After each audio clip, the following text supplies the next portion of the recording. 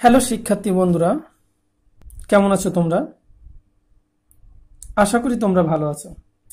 আজ আমরা যে গুরুত্বপূর্ণ টপিকস আলোচনা করব, সেটি হলো ইলেকট্রোকেমিস্ট্রি অর্থাৎ তড়িৎ রসায়ন। আজ এই তড়িৎ রসায়নের কথা বলতে গেলে আমরা ব্যাপক বিস্তৃত একটা অধ্যায় চলে আসবে।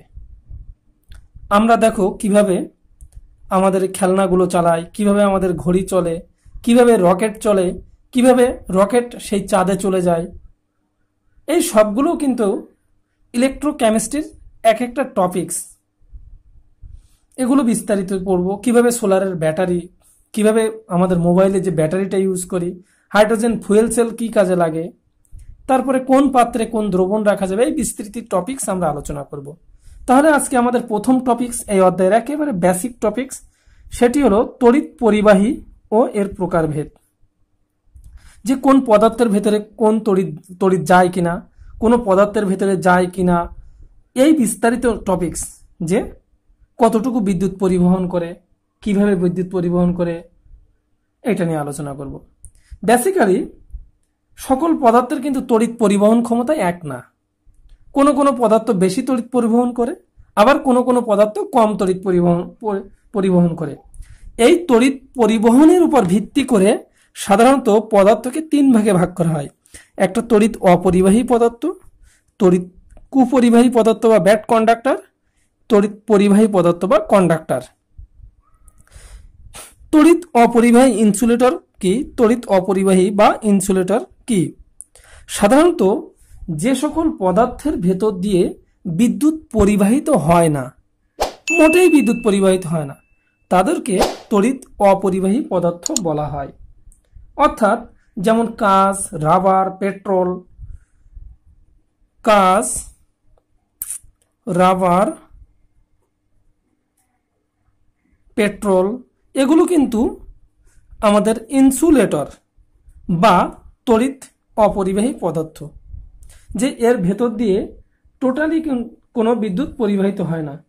এছাড়া প্রায় সকল অধাতব মৌলসমূহ, প্রায় সকল অধাতব মৌলসমূহ অধাতব মৌলসমূহ, যেমন আমরা সিরামিক বলতে পারি, কারণ এগুলো অধাতব, কাঠ বলতে পারি, বিভিন্ন অধাতব মৌল, প্রায় সব অধাতব মৌলসমূহ সাধারণত বিদ্যুৎ অপরিবাহী। এবার আসি তড়িৎ কুপরিবাহী বা ব্যাট কন্ডাক্টর। যে সকল পদার্থের ভেতর দিয়ে অল্প মাত্রায় বিদ্যুৎ পরিবাহিত হয়, তাদেরকে তড়িৎ কুপরিবাহী বা ব্যাট কন্ডাক্টর বলে। যেমন, কোনো পোলার সমযোজী যৌগের গলিত অবস্থা বা দ্রবণ বা বিশুদ্ধ পানি। তাহলে পোলার সমযোজী যৌগের সমযোজী যৌগের গলিত অবস্থা। গলিত অবস্থা বা দ্রবণ। এছাড়া আরও কি আছে? বিশুদ্ধ পানি। আমরা জানি বিশুদ্ধ পানি কিন্তু অল্প মাত্রায় বিদ্যুৎ পরিবহন করে। আর এজন্য এটি হলো ব্যাট কন্ডাক্টরের আওতায় পড়ে যায়। তাহলে আমরা বুঝলাম যে ব্যাট কন্ডাক্টর বা তড়িৎ কুপরিবাহী কি? যে সকল পদার্থের ভেতরে কম পরিমাণ বিদ্যুৎ প্রবাহিত হয়, তাদেরকে ব্যাট কন্ডাক্টর বলা হয়। সাধারণত পোলার সমযোজী যৌগের গলিত অবস্থা একটা ব্যাট কন্ডাক্টর এবং বিশুদ্ধ পানীয় বলা হয় ব্যাট কন্ডাক্টর। এরপরে আসি কন্ডাক্টর বা তড়িৎ পরিবাহী কি? তড়িৎ পরিবাহী হলো যে সকল পদার্থের ভেতর দিয়ে সম্পূর্ণরূপে বা খুব ভালোভাবে বিদ্যুৎ পরিবাহিত হয়, তাদেরকে তড়িৎ পরিবাহী পদার্থ বলা হয়। যেমন সকল ধাতু, আমরা যে লোহা, তামা এগুলো ইউজ করি সকল ধাতু, অ্যাসিড মিশ্রিত পানি, অ্যাসিড মিশ্রিত পানি, ক্ষার মিশ্রিত পানি, ক্ষার মিশ্রিত পানি। আরও কি আছে? লবণ মিশ্রিত পানি, লবণ মিশ্রিত পানি। এবং আমরা যে অধাতু একটা আছে, বিদ্যুৎ পরিবহন করে, সেটা হলো গ্রাফাইট, ইত্যাদি ইত্যাদি। তাহলে, তড়িৎ পরিবাহী পদার্থ কারা? যে সকল পদার্থের ভেতর দিয়ে সম্পূর্ণরূপে বা ভালোভাবে বিদ্যুৎ পরিবাহিত হয়, তাদেরকে তড়িৎ পরিবাহী পদার্থ বলা হয় বা কন্ডাক্টর বলা হয়। এর উদাহরণ হতে পারে সকল ধাতু, অ্যাসিড মিশ্রিত পানি, তারপরে ক্ষার মিশ্রিত পানি লবণ মিশ্রিত পানি এগুলোর উদাহরণ হতে পারে এবং গ্রাফাইট। তাহলে, এখন আমরা এই কন্ডাক্টরকে তিন ভাগে ভাগ করা যেতে পারে। তড়িৎ পরিবাহী বা কন্ডাক্টরকে তিন ভাগে ভাগ করা যেতে পারে। ধাতব পরিবাহী বা ইলেকট্রনীয় পরিবাহী বা মেটালিক কন্ডাক্টর।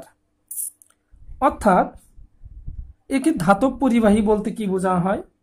যে সকল তড়িৎ পরিবাহীর মধ্য দিয়ে তড়িৎ প্রবাহের সময় কোনোরূপ রাসায়নিক পরিবর্তন হয় না, তাদেরকে ধাতব পরিবাহী বলে।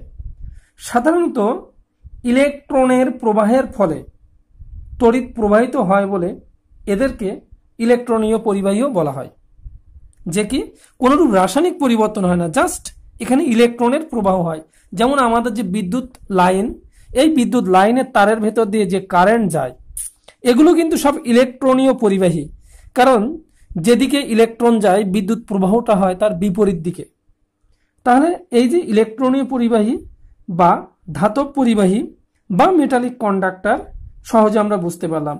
আমরা উদাহরণ হিসেবে দেখতে পারি সিলভার গোল্ড কপার জিঙ্ক এরকম অসংখ্য ধাতু আছে যেগুলো আমাদের বিদ্যুৎ পরিবহন করে। সাধারণত এই সকল ধাতুসমূহকে যদি তাপমাত্রা বাড়ানো হয়, এই সকল ধাতুর তাপমাত্রা বাড়ানো যদি হয়, তাহলে এর পরিবহন ক্ষমতা কিন্তু কমে যায়। তাহলে তাপমাত্রা যদি আবার কমানো হয়, তাহলে পরিবহন ক্ষমতা বেড়ে যায়। তাহলে এটা ভৌত পরিবর্তন একটা। তাহলে দেখা যাচ্ছে যে যে সকল ধাতুর মধ্য দিয়ে বিদ্যুৎ পরিবাহিত হয় বা শুধুমাত্র ইলেকট্রনের প্রবাহের মাধ্যমে বিদ্যুৎ পরিবাহিত হয়, তাদেরকে ইলেকট্রনীয় পরিবাহী বা ধাতব পরিবাহী বলা হয়। এখন আসা যাক, শিক্ষার্থী বন্ধুরা, অধাতব পরিবাহী কি? যে সকল অধাতুর মধ্য দিয়ে বিদ্যুৎ পরিবহন হয় এবং সেখানে কোনো রাসায়নিক ধর্মের পরিবর্তন হয় না, তাদেরকে বলা হয় অধাতব পরিবাহী। আমরা খুবই খুবই কমন একটা উদাহরণ জানি, সেটি হলো গ্রাফাইট। যে গ্রাফাইটের ভেতর দিয়ে বিদ্যুৎ পরিবাহিত হয়। কিন্তু এখানে কোনো রাসায়নিক পরিবর্তন হয় না। যেমন গ্রাফাইট বলতে আমরা যে উড পেন্সিলের শীষ ইউজ করি, উড পেন্সিল। এই উড পেন্সিলের শীষে কিন্তু গ্রাফাইট থাকে। এই উড পেন্সিলের শীষ তোমরা দেখবা, অবশ্যই এটি বিদ্যুৎ পরিবহন করে। তাহলে উড পেন্সিলের শীষ বা যেটা থাকে শীষ থাকে যেটা আমরা বলি বা ওর ভেতরে যে কালো যেটা দ্বারা লিখতে হয়, সেটি কিন্তু আমাদের গ্রাফাইট দিয়ে তৈরি। এটা বিদ্যুৎ পরিবাহিত হয় এটি দ্বারা। এরপরে আসা যাক তড়িৎ বিশ্লেষ্য পরিবাহী। এখানে কিন্তু একটা কথা উল্লেখ করা হচ্ছে যে বিশ্লেষ্য অর্থাৎ বা ইলেকট্রোলাইটিক কন্ডাক্টর ইলেকট্রোলাইটিক কন্ডাক্টর যে সকল তড়িৎ পরিবাহী পদার্থের মধ্য দিয়ে বিদ্যুৎ প্রবাহিত করলে কি হয়? ওই পদার্থসমূহ রাসায়নিকভাবে পরিবর্তিত হয়ে নতুন ধর্মবিশিষ্ট পদার্থে পরিণত হয়। যেমন, আমরা যে রাসায়নিক পরিবর্তন ঘটে, অর্থাৎ একটা নতুন পদার্থ থেকে নতুন একটা পদার্থে তৈরি হয়, অর্থাৎ এই যে তড়িৎ বিশ্লেষ্য পরিবাহীর ক্ষেত্রে অবশ্যই অবশ্যই রাসায়নিক পরিবর্তন ঘটবে। আর এই রাসায়নিক পরিবর্তনের মাধ্যমে আমাদের এই তড়িৎ বিশ্লেষিত হয় বলে একে ইলেকট্রোলাইটিক কন্ডাক্টর বলা হয়। এখন আসা যাক যে এখানে কীভাবে এই তড়িৎ বিশ্লেষ্য পরিবাহীর ঘটনাটা ঘটে। এখানে সাধারণত ক্যাটায়ন, অ্যানায়ন সৃষ্টির মাধ্যমে, ধনাত্মক ও ঋণাত্মক চার্জ সৃষ্টির মাধ্যমে এই তড়িৎ পরিবহনটা ঘটে থাকে। আমরা বিভিন্ন লবণের দ্রবণ, অ্যাসিডের দ্রবণ, ক্ষারের দ্রবণ, এগুলো সাধারণত তড়িৎ বিশ্লেষ্য পরিবাহী হয়ে থাকে। তাহলে লবণের দ্রবণ লবণের দ্রবণ ক্ষারের দ্রবণ, ক্ষারকের দ্রবণ, বিভিন্ন অ্যাসিডের দ্রবণ, এগুলো সবই অ্যাসিডের দ্রবণ, এগুলো সবই তড়িৎ বিশ্লেষ্য পরিবাহীর উদাহরণ। সাধারণত এই তড়িৎ বিশ্লেষ্য পরিবাহীকে আবার দুই ভাগে ভাগ করা হয়। একটা হলো তীব্র তড়িৎ বিশ্লেষ্য পরিবাহী এবং অপরটা হলো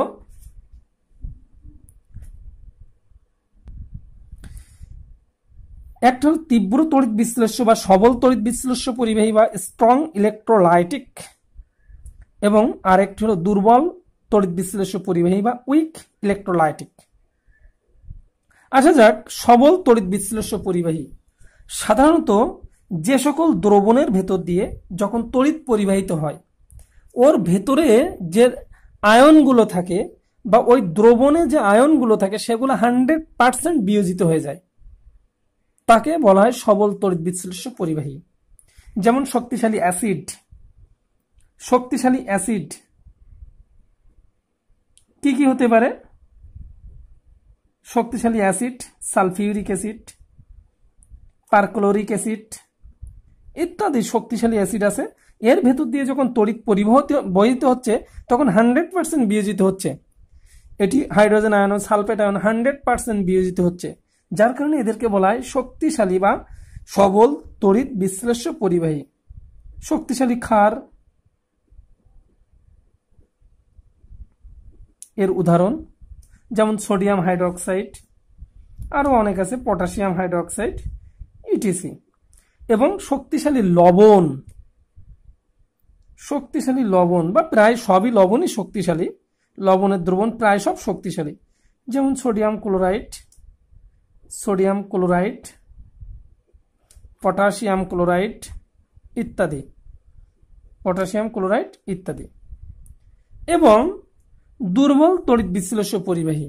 যে সকল পরিবাহীর ভেতর দিয়ে বিদ্যুৎ পরিবহনের সময় সামান্য মাত্রায় বিয়োজিত হয়, খুবই সামান্য মাত্রায় বিয়োজিত হয়, তাদেরকে বলা হয় উইক ইলেকট্রোলাইটিক। যেমন আমরা দুর্বল অ্যাসিডের ভেতরে যদি বিদ্যুৎ পরিবহন হয়, তাহলে এইটা ফর্মিক অ্যাসিড, দুর্বল ক্ষার, অ্যামোনিয়াম হাইড্রোক্সাইড ইত্যাদির ভেতরে যখন বিদ্যুৎ পরিবাহিত হয়, তখন অল্প মাত্রায় বিয়োজিত হয়, যার কারণে এদেরকে বলা দুর্বল তড়িৎ বিশ্লেষ্য পরিবাহী। তাহলে শিক্ষার্থী বন্ধুরা, আমরা টোটাল টপিক্সটা আলোচনা করলাম, যে তড়িৎ পরিবাহী ও এর প্রকারভেদ। এখান থেকে অবজেক্টিভ সহ বড় প্রশ্নেরও সম্ভাবনা আছে। তাহলে এটা তোমরা ভালো করে পড়বে। থ্যাংক ইউ সবাই ভালো থাকো।